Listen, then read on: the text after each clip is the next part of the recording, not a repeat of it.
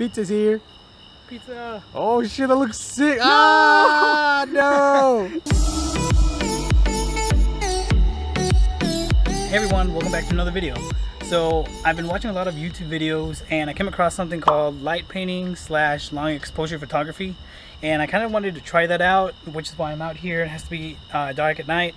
Uh, my brother's going to come out in a bit. He's going to be helping me out, setting it up and uh, we'll see if we can get any uh, really cool pictures today. So before we start we got to get some things ready so I'm to go inside and get some stuff out.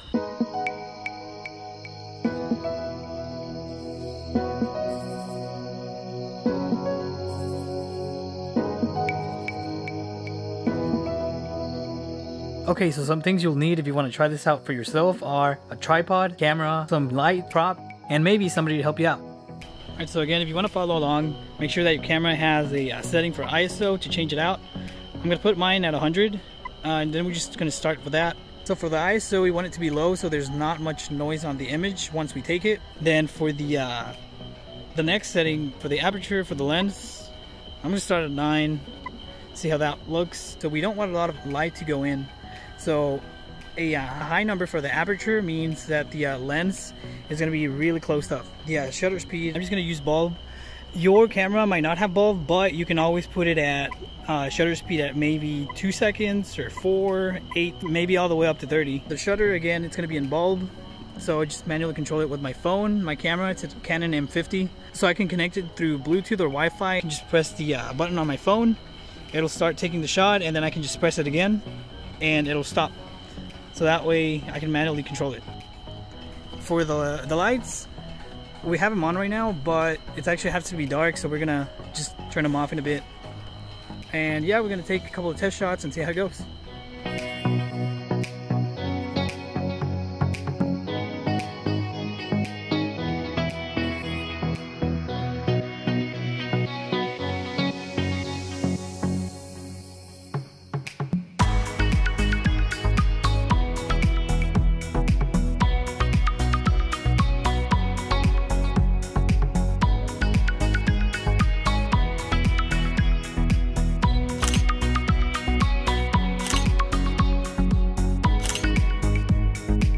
Alright, so as y'all can see, I'm pretty happy with the test shots that we took. So I think I'm going to leave the uh, settings the way they are.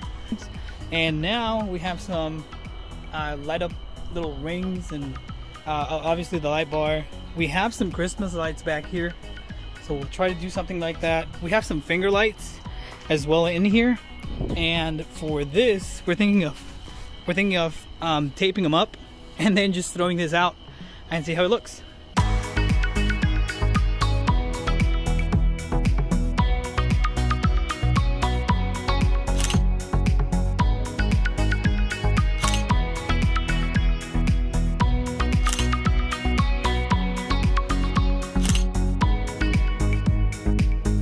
So right now we're gonna use the Christmas lights here and uh, we'll see what kind of cool pictures we can get.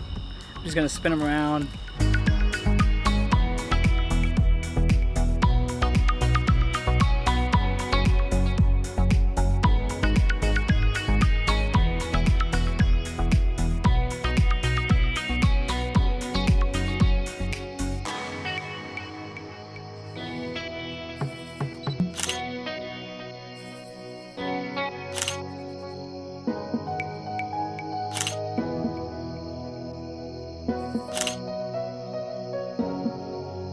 All right, so the last thing we're gonna be doing is we're gonna be putting uh, some finger lights on this uh, Frisbee and then we're gonna be throwing that at each other and see what we can come up with.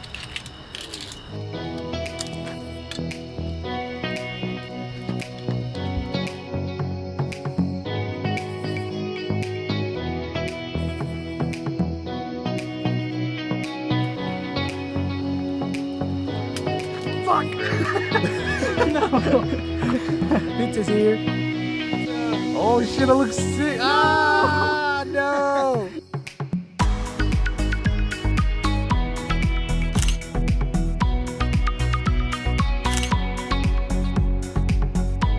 We tried to throw this around. As you can see, the lights didn't stick. So if we do it again, we might use better tape next time because you can see the lights are just scattered on the floor right now. But I think we got a good picture first. Alright, so that about does it for the photo shoot. I think we got some really cool pictures today uh, for it being the first time. Um, this one's my favorite probably out of all of the ones we took. Uh, I really like the way I was able to kind of get everything traced out on the air. The link to my Instagram will be on the uh, description. So go ahead and go and follow me. If you try this, uh, tag me on the pictures. I want to see what you come up with. Uh, if you do, and if you go there, you can see the pictures that we took tonight. Go ahead and like, comment, and subscribe, and uh, we might try this again change some things, get better tape because the uh, frisbee kind of didn't work out, but we'll see you next time. All right, later.